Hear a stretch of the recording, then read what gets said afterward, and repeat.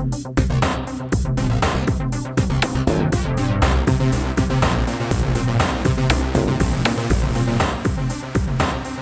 morning, WHS. I am Zane Pfeiffer, and here are the announcements for Friday, May 23, 2014.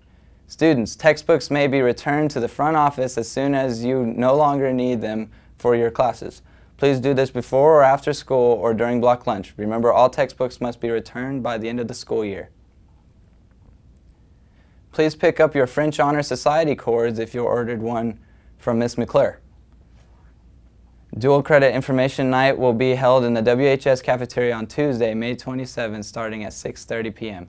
If you are planning on taking dual credit classes at WHS next year, or you would like to take classes at Navarro College this summer for, for the first time, plan to attend this very informative event. Information will be given to you about the college application process, scholarships, opportunities, eligibility requirements, and testing locations, vouchers for the TSI, the Texas State Initiative Assessment. If you have questions, please ask your counselor.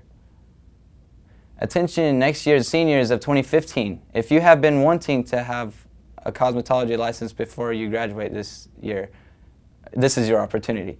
Next year, WHS will be offering the Licensed Manicurist program. It only takes one year to complete and only takes up two classes. If you're interested, please come to the Cosmetology Lab, room 191, before or after school, or the B portion of block lunch on Friday. All library books are due today. Please return your books. The library is accepting unopened boxes of Kleenex for library fines until school is out. If you have lost a book, seniors please turn in all remaining cards and money to Miss Millis in the library. You must have this done prior to graduation.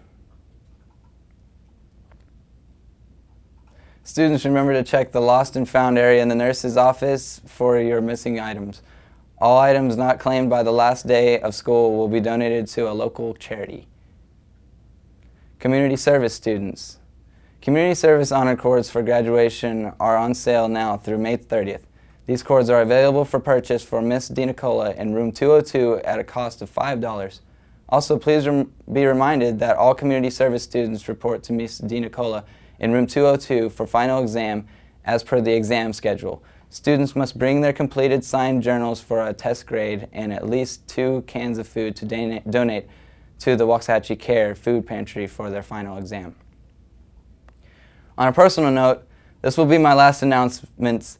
I would like to thank you all for voting me as most photogenic. Thank you and have a great three-day weekend.